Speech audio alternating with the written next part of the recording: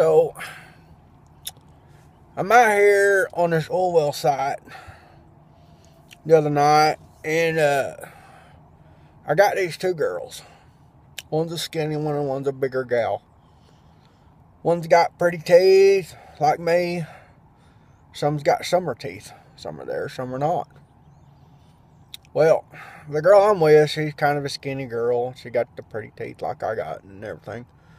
Well, the other girl got a big old butt. Looked like looked like somebody beat her in the ass with a sock full of nickels. I'm like, God dang. Woo!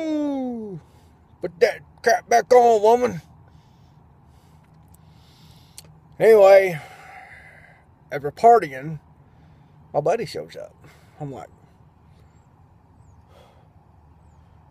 Jeb, come on, man. Let's party. We're going to party. He says, okay, why not? So he takes her shirt off. I'm like, this ain't that kind of party. We're just drinking. She got pancake titties with with her with her nipples the size of Oreo cookies. I'm like, oh God. I was scared. Uh, God bless the bigger gals. Uh, God bless you. But this was scary. Anyway, needless to say, I went home single. And when he went home with both them crazy bitches.